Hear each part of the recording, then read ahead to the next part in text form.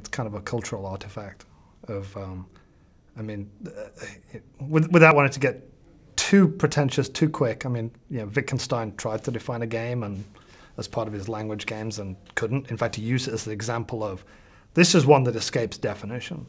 And for me, video games are the same. Is I, I, I think that um, drawing a line of what you call a game um, and what you call interactive art or what you call a semi-interactive story um, or a puzzle is it's sort of a, an arbitrary decision. It's kind of a cultural artifact. It's what we call that.